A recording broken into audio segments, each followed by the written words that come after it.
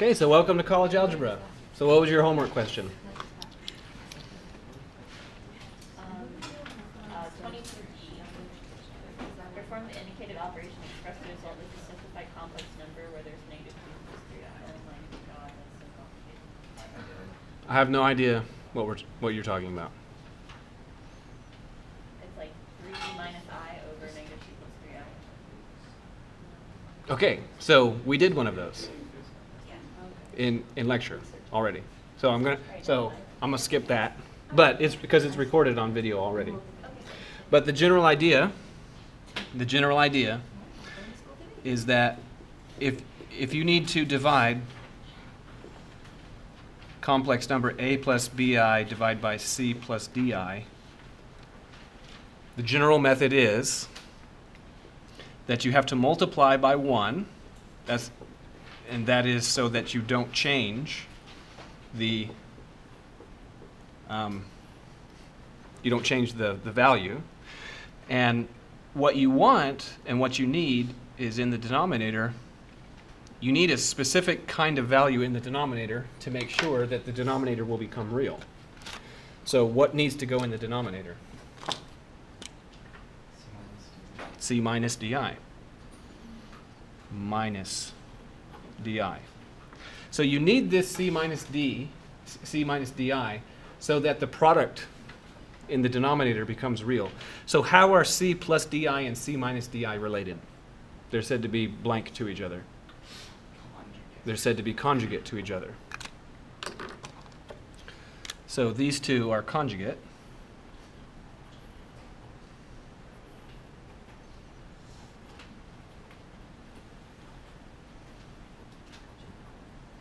So that conjugate c minus di is what makes it all work, but you can't just put a c minus di down there. That'd be changing the expression. So how do you overcome the fact that you put a c minus di down there?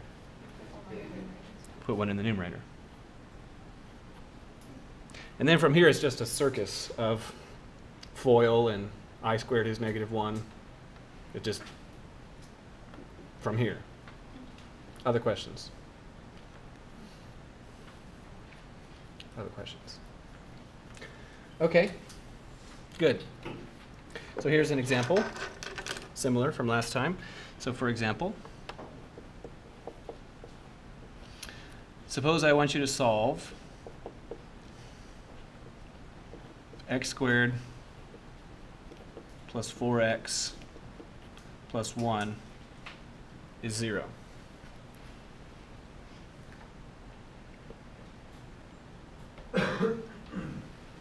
So anytime you're asked to solve a quadratic, and, and the, the instructions are not specific, you should do whatever, whatever means is most efficient.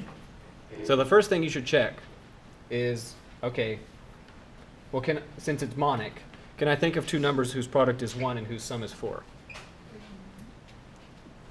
3 and 1? No. That won't work. so two numbers whose product is 1 and sum is 4? Probably not off the top of your head can you think of these numbers. There are numbers that do that. But you probably just can't think of them off the top of your head. So, okay, the product sum thing is not going to work. So what's the only other means that we have to proceed then? It's the thing that we did. Okay, and then what? Oh. So, so I'm going to leave myself a little spot here to do that. So then we did something last time where I said, okay, I'm going to take all the, all the terms that have x, I'm going to put them on one side, and all the terms without x, I'm going to put them on the other side, and I'm going to leave myself a bunch of horizontal space there. So what is this called? We gave this a name doing this. I, I probably didn't say it formally. I probably said it just out loud. No, I, then I write. I did write product slash I had a sum trick, face. and it had a sad face Yeah, it has a sad face.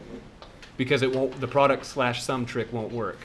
So what what we're going to do here is remember I said we're going to add something and then subtract the same thing.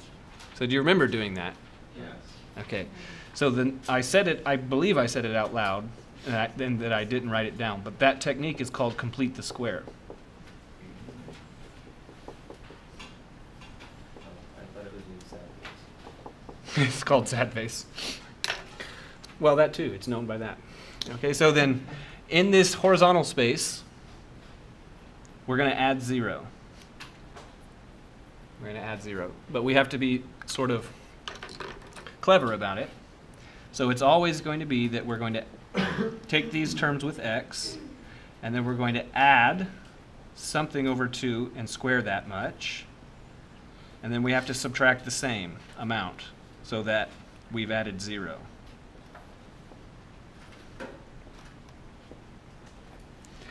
And my question to you is, is what, what goes in the numerator there? So it's always Four. over 2 and squared. So what goes in here? 4. So in this exercise, it's 4. Is it always 4? No. Then what is it? B. It's this coefficient, right? It's that coefficient right there.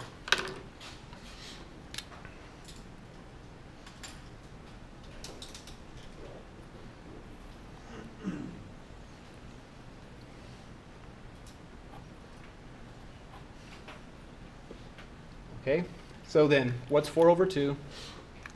2. Square that much? 4. So what we're saying is that for some reason we found it expedient to add 4 and then subtract 4. And the reason why we did that, we want to do that, is because the original quadratic did not factor by grouping in, in, the, in the nice way that we, that we wanted it to. However, look at these terms. These three terms do factor, and they factor in the nicest possible way. What is the factorization of x squared plus 4x plus 4? x plus 2 all squared.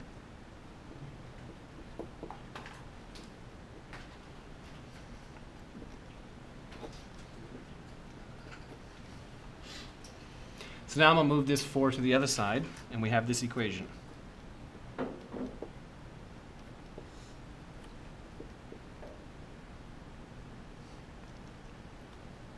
Okay, great. Now what? Square root both sides.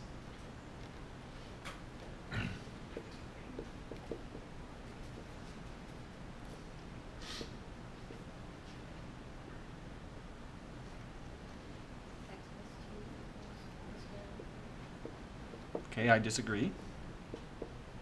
This is not correct. Value of x plus two. Thank you. The absolute value of x plus 2 is square root 3. so now ignore what's inside of the absolute value for a minute. I have a question for you. What could we put in that absolute value so that square root 3 would come out? Square root three. Square root of 3 would work. And what else? Also negative square root of 3 would work. So that is to say, suppose you wanted 10 to come out of the, out of the absolute value. Well, you could put in a 10.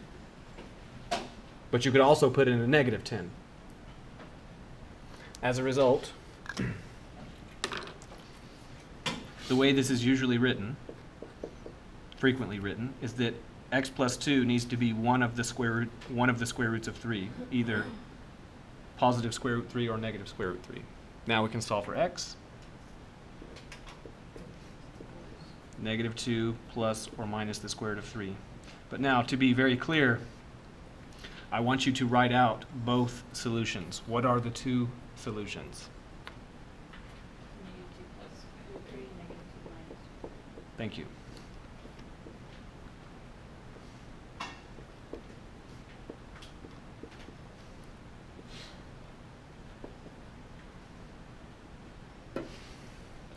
So back to the back to the original here. Back to the original the question we asked ourselves at least initially was can you think of two numbers whose product is 1 and whose sum is 4? Probably not off the top of your head. But those numbers are the negation of these. So the two numbers whose product is 1 and whose sum is 4 is 2 plus the square root of 3 and 2 minus the square root of 3. The product of those is 1. The sum of those is 4.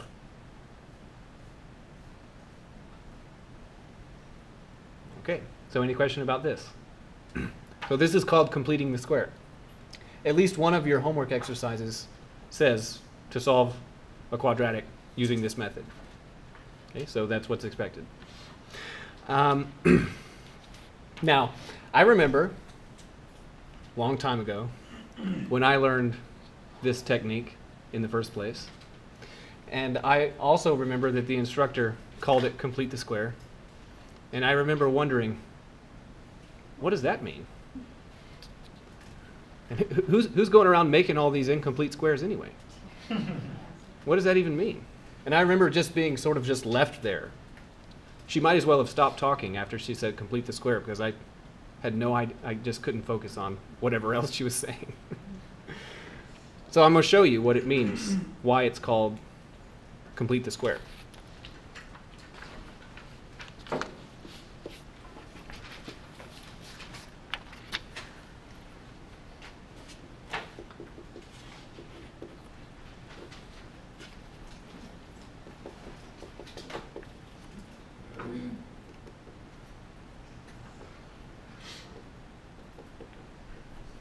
So I'm going to write in two columns.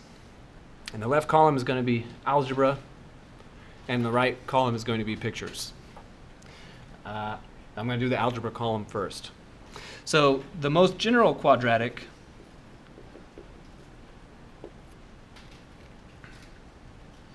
uh, general quadratic looks like this: a x squared plus bx plus c with a non-zero a. Why do we need why do we need a to be not zero? Because if A is zero, then it should just be x plus c.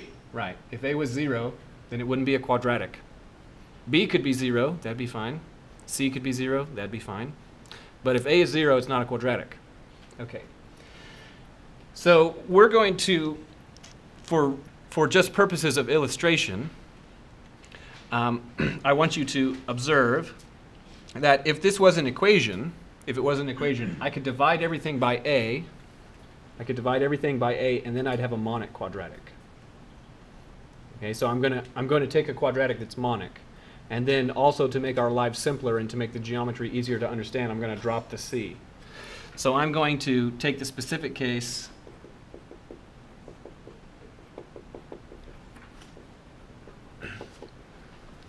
when a is 1 and c is 0.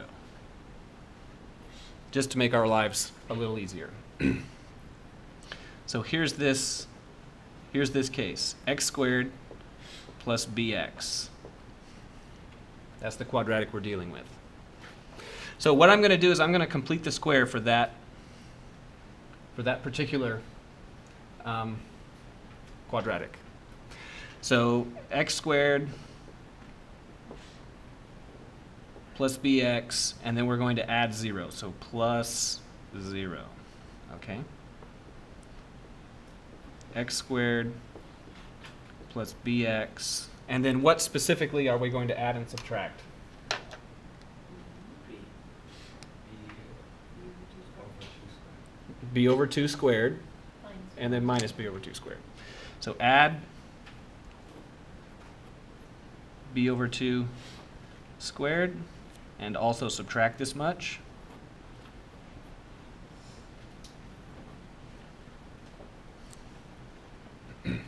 Now, the first three terms, the first three terms factor nicely. How do the first three terms factor?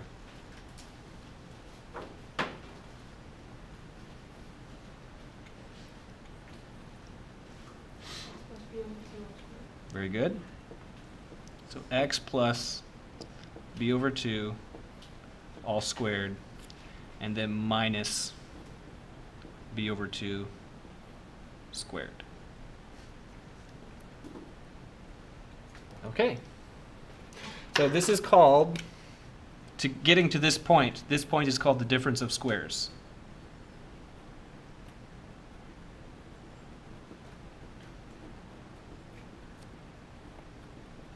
Why do you suppose that's the case? Right, because you've got this expression squared and that expression squared and you're subtracting. Okay. This is sort of the what's at the bottom of, a, of, of every complete the square task is you have to come to the difference of squares like this. Okay, good. So that's that's the algebra.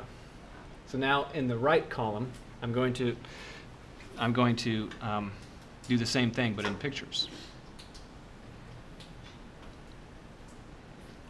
So I'm going to take this expression, x squared plus bx, except I'm going to take a different tack. I'm going to say, okay, do you observe that there's a common x and that we can factor it out? Okay.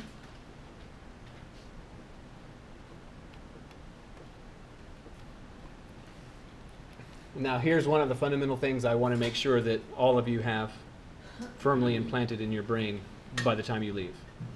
So, on the one hand, by the time you leave college algebra, I mean, on the one hand, arithmetic, the rules of arithmetic are a thing unto themselves. Okay? That is addition, product, division, all those things. On the other hand, they also have distinct geometric meanings. So, for example, I would like for you to suppose that I made for you a rectangle that was 3 meters on a side and 5 meters on the other side. What is the area of this rectangle? 15. And what dark magic did you use to come to this answer? Product, right? The product of 3 and 5. Well, that is that is in fact the relationship between arithmetic product and geometric area.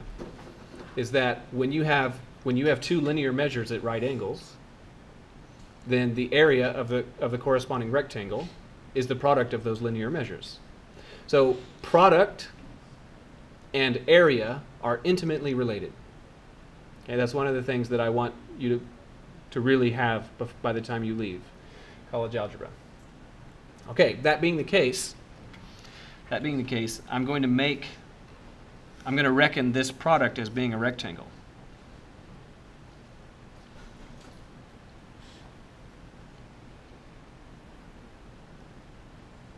And this one has side length x, and this one x plus b. Wonderful. So now, the thing about area, one of the things about area, is that you can do a lot of things to, to a shape and not change its area. So for example, I'm holding onto this rectangle, I can move it around. Its area is not changing as a result of this. And I can take it and I can rotate it, and its area is not changing as a result of this. And if I was to take it and cut it into two pieces, we'd have two pieces now, but the sum of the areas of those pieces would be the same as the area of the original. So so translating, rotating, and shear and cutting do not change the area. So what I'm going to do, I'm going to take this shape.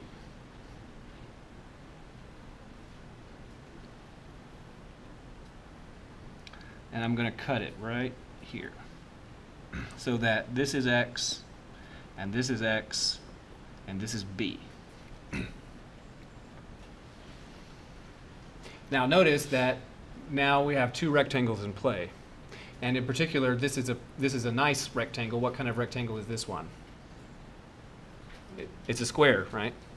It's a square because it's x and then x. This one is, is not generally going to be a square because its side lengths are x and b.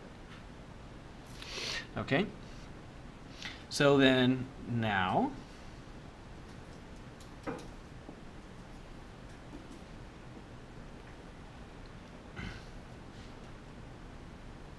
going to take this and I'm going to bisect it. I cut it right down the middle. So this is x and this is x. And if I cut this piece right down the middle, then what's, what are these lengths? b over 2, right? So this one is b over 2, and this one is also b over 2. Okay.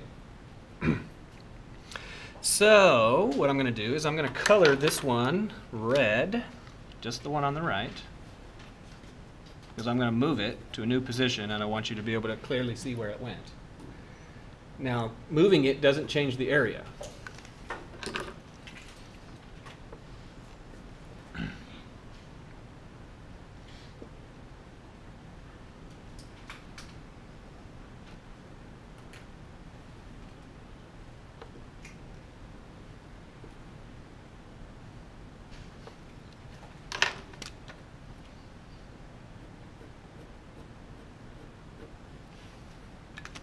So can you see where it went? Yeah, I haven't changed the area of, of the object. I've changed it, I've changed its shape. Okay, so this is x, this is x, this is b over 2, this is b over 2. So what is this length right here? X plus B over two. Good. And what's this length right here? X plus B over two. x plus b over 2. So I'd like for you to observe that this is not a rectangle, but it, it almost is, isn't it? It's like there's a little piece missing. If, if we were to just fill that in, it'd be a rectangle. And it'd be better than a rectangle. What would it be? It'd be a square. So what would you say about this? Maybe this square is incomplete, would you say? So, you know what? I'm going to fix it. Maybe the square doesn't want to be complete. Maybe it's the way it is. Maybe, maybe it doesn't identify as a square. Why are you forcing your conventional okay.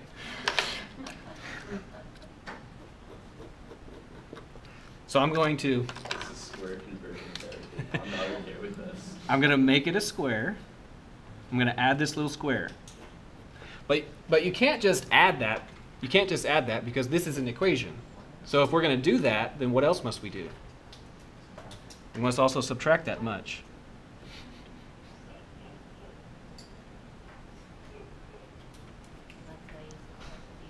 why you hmm So now I added this much and subtracted that much. Now I have a question for you. This little bit that's missing here. What th- this little bit is a square. What are its dimensions? what, what are its what are its dimensions? B over two B over two. Yeah, b over 2 and b over 2. So, what is the area of this little green square?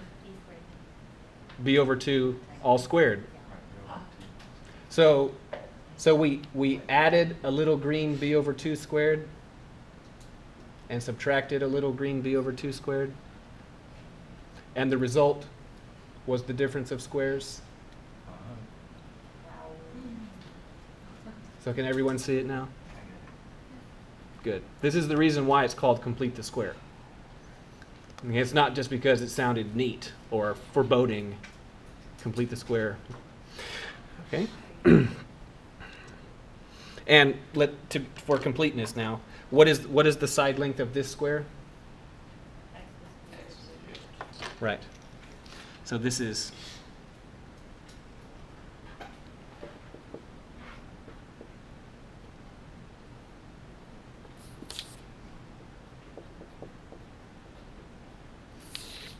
Very good. Any questions about this geometric construction? Okay. So, um, now speaking of the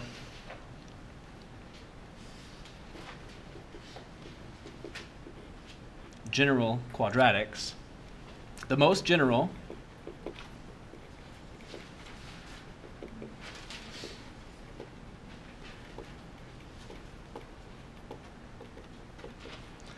quadratic equation.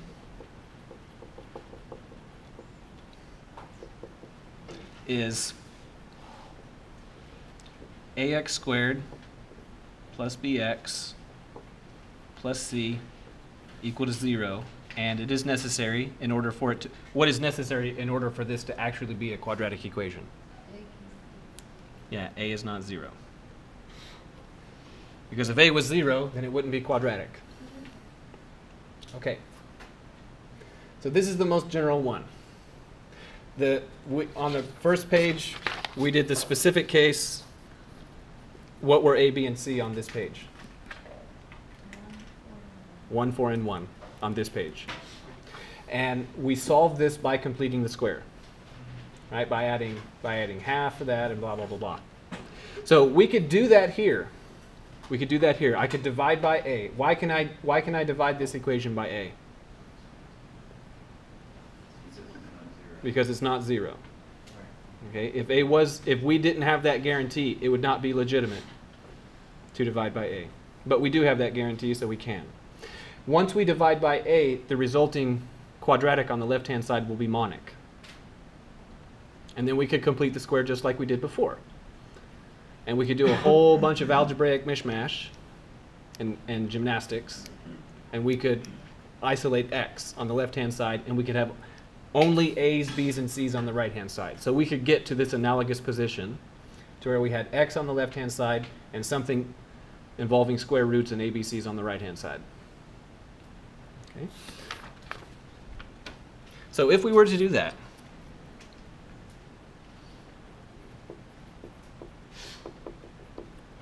complete the square.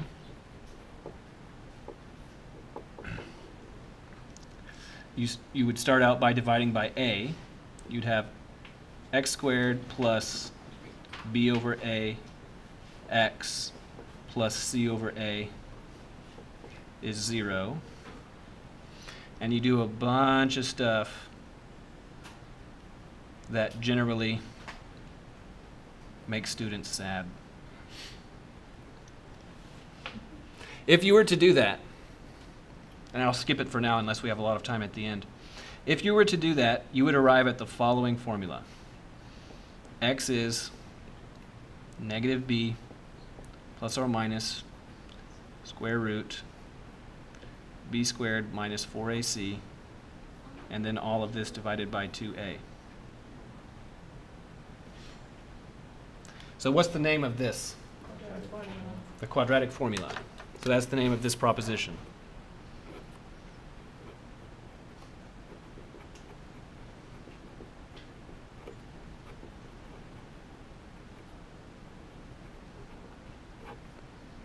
So this right here is called the quadratic formula.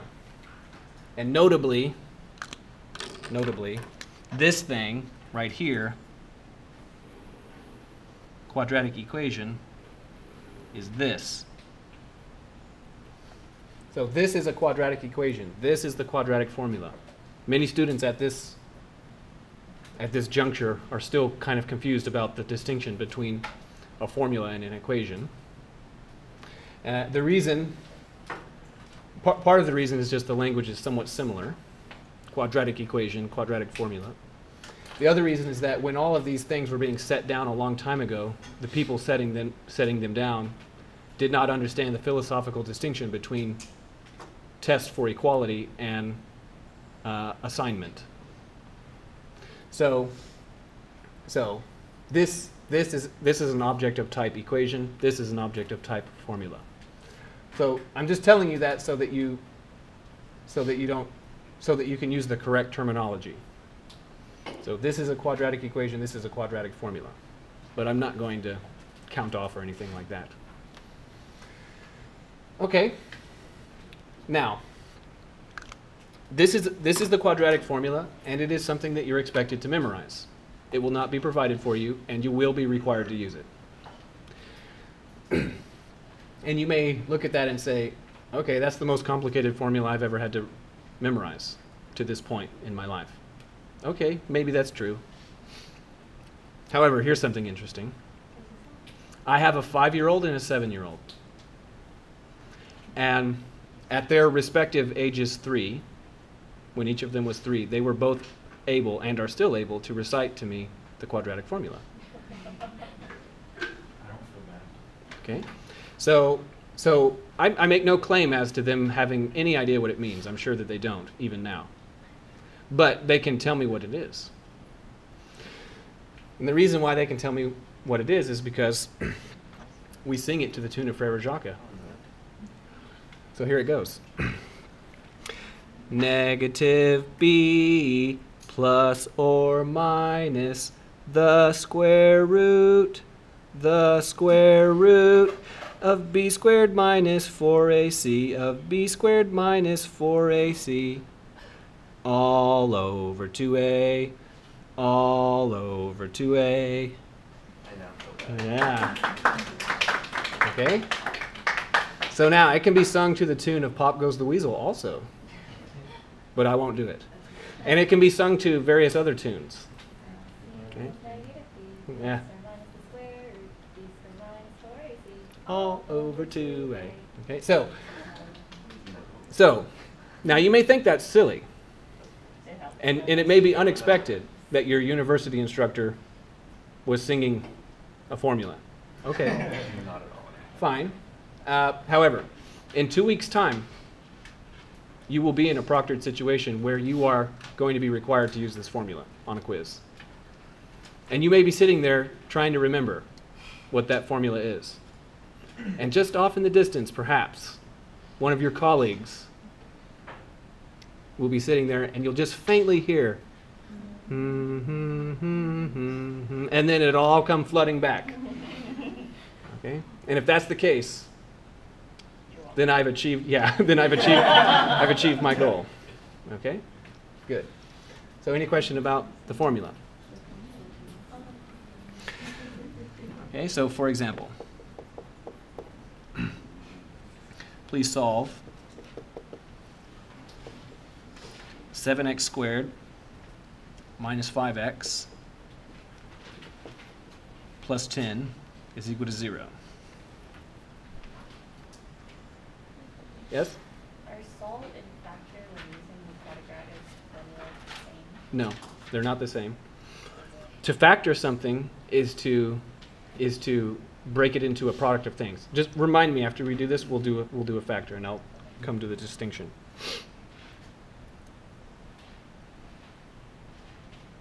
So for this one, to solve it, uh, we would like to factor it. And to factor it, can you think of two numbers whose product is 70 and whose sum is negative 5?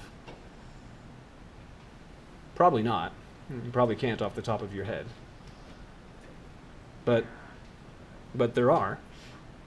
No, wait, let, are there? Maybe. No, there's there's not. so let, let, let I need to change this. We're going to do one just like this. I hate it when the instructor changes the question. I'm so sorry. So now, now can you think of two numbers whose product is negative 70 and whose sum is negative 5? Still no, probably. Okay.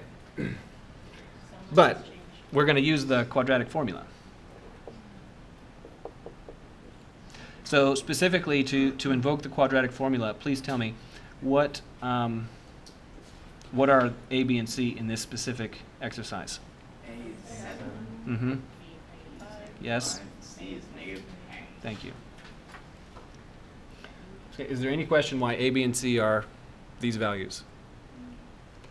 Okay, so to use the quadratic formula, well, that would be negative negative 5 plus or minus the square root of negative 5 squared minus 4 times 7 times negative 10 and then all of this over to a right? Okay. So any question about these these numbers being substituted in in this way? Because if you can get if you can get to this position, then more or less you can make it to the end because it's just arithmetic from here. Okay. So carrying this out, negative negative five. Well, that's five and then plus or minus. Okay, so this would be 25, and then minus a negative thing, because that's a negative, so this is really addition. And then that's 7 times 10, which is 70 times 4 is 280, uh, and then plus 25 is 305. So 305 under the radical, and then 14 in the denominator. Any question about getting here? Okay, I'm not interested at, right here in seeing if I can ta get things out of the radical. That's a different matter. But what I want you to understand is that this this signifies two different solutions. So what are the solutions? Five Equals plus five root plus- three of five over fourteen. Yes? And five minus three. Very good.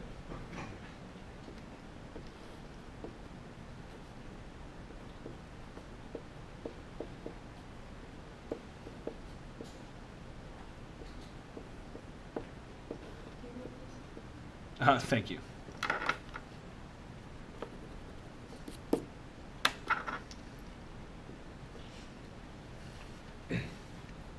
Okay.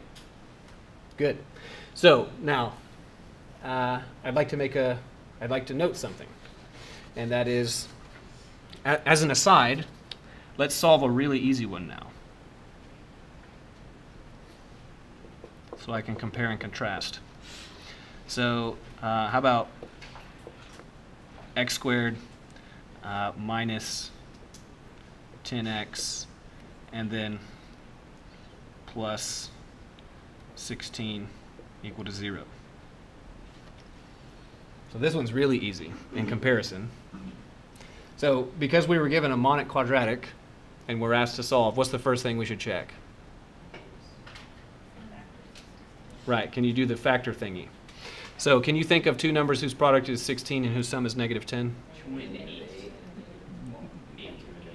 Very good.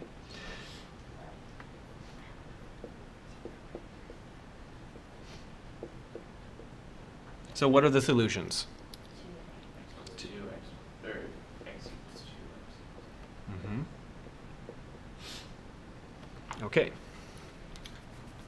So now, what I want you to do, uh, not now, but in your own time, what I'd like for you to do is just go ahead and use the quadratic formula for this. And verify that, that even through the quadratic formula, you still get 2 and 8. So look at the quadratic formula. We've got this square root going on. So imagine what that must imply about this particular example. Because are there square roots in these? No, there aren't any. So that must, must have meant what? Yeah, that somehow the thing that was under the square root in the formula had to be a square. Right? So maybe something like 16 was under the, under the radical. Because, the, because then the square root of 16 would be 4. Or maybe it was something like 25 was under the radical, so that its square root would be 5. So did that happen here? Is 305 a square? Uh, an integer square? No, it's not. So, notably, what I'd like you to observe is that these solutions, these solutions are in the quotients. Gesundheit. So what is that, what do I mean by this?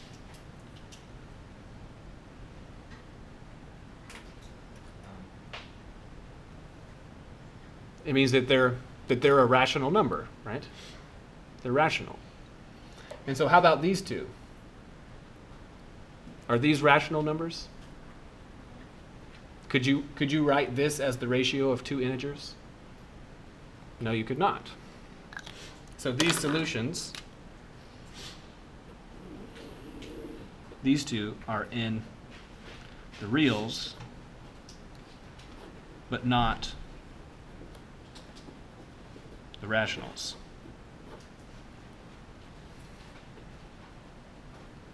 Okay, interesting. So any question about about the distinction here? So apparently some of the times the roots, the zeros, th- these solutions can be rational and sometimes not rational.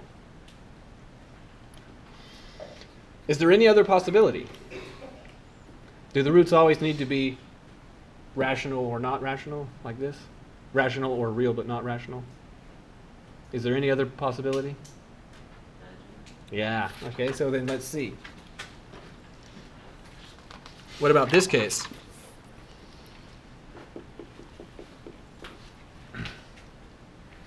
Um, uh, how about x squared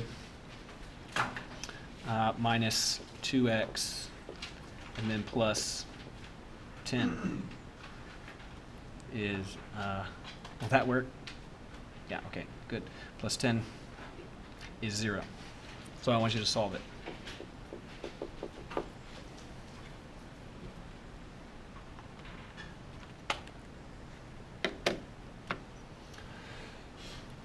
So can you think of two numbers whose product is 10 and whose sum is negative 2? Probably not. Off the top of your head, anyway. Okay, so if you can't think of two numbers whose product is 10 and whose sum is negative 2, then what? Quadratic formula. Okay, specifically, what are A, B, and C in this exercise? Good.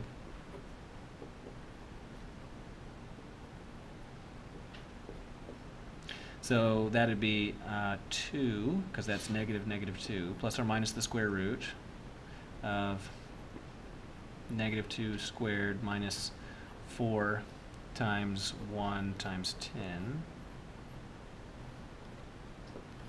And then all of this over 2 times 1. Okay.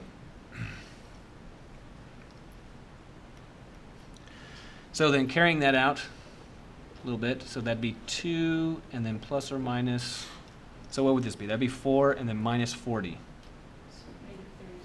Okay, so that would be uh, the square root of negative 36 over 2. And, uh-oh, wait a minute, square root of negative, negative 36? Six, how do you use that? Ah, right, so, so we can proceed through, not the reals now, but the complex numbers. So, so how do we, how do we deal with that? Six, right, so then this would be two plus or minus the square root of thirty-six, positive thirty-six, and this negative jumps out as the unit imaginary number i. And then, okay, now we can proceed. So what's the square root of um, thirty-six? Six. Six. So that'd be two plus or minus six i over two. Six eyes, that's like three quarters of a spider. Wow. What? Six eyes. eyes is, Oh. spider has eight eyes. I like that. Six eyes, th- three quarters There of we a go. There you go. There we go. You know what? You know what imaginary numbers are used for? It's too early. Uh-oh. Terrible jokes. Yeah. You know what? So they're used for counting unicorns. Okay. Well, one bad joke deserves another, right? Okay, so then, thank you.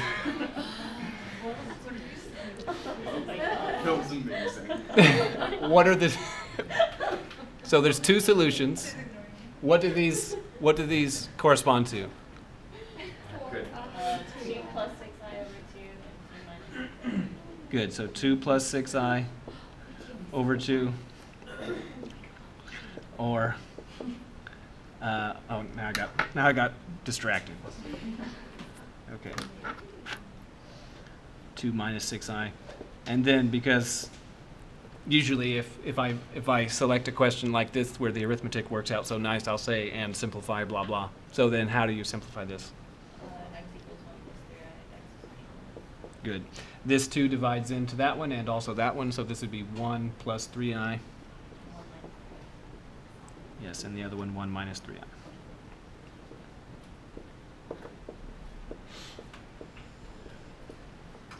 So now back to the top.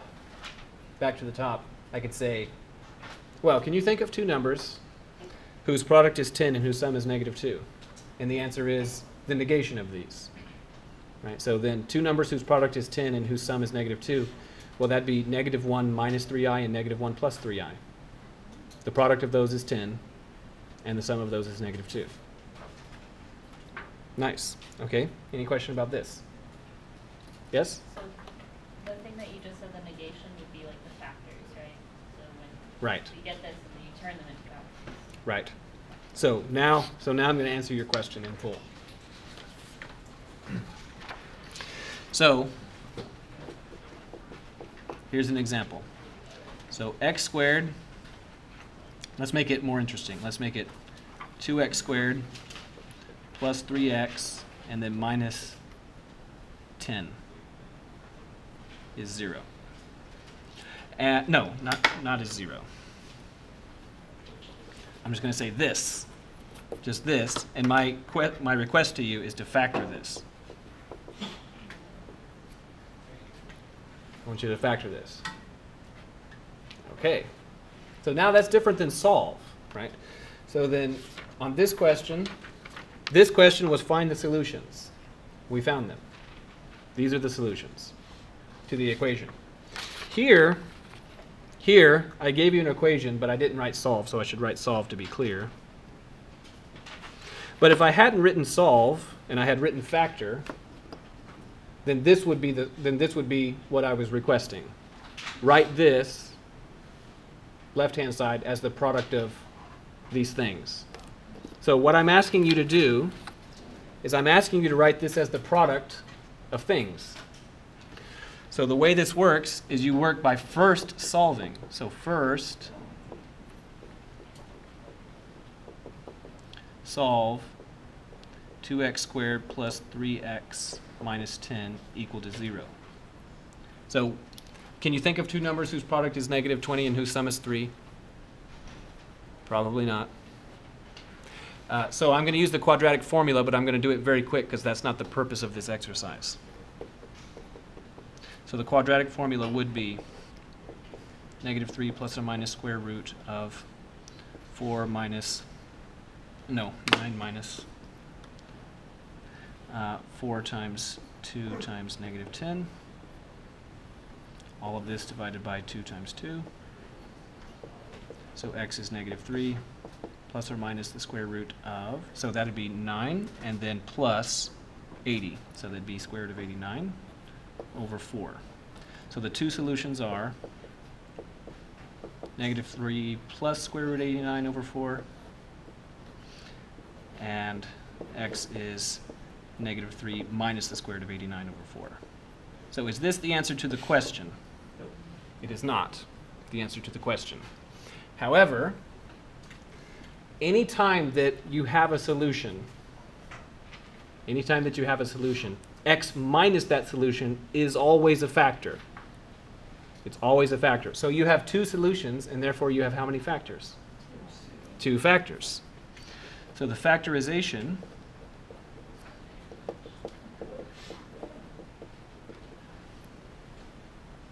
We're almost done. 30 seconds.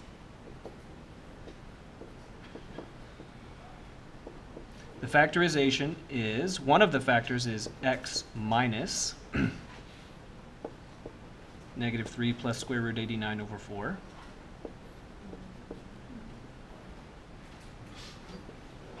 And the other factor is x minus negative 3 minus the square root of 89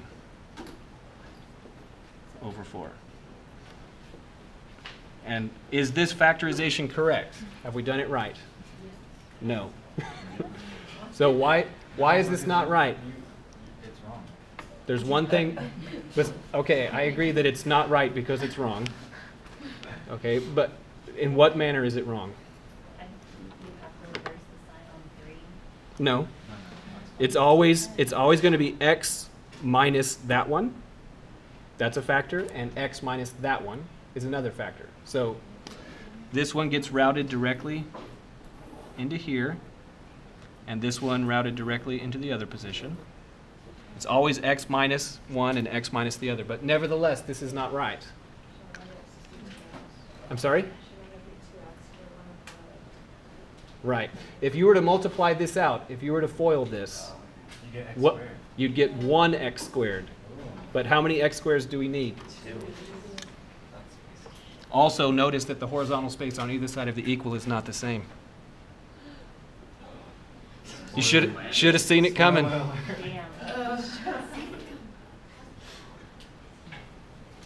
Have a nice Wednesday.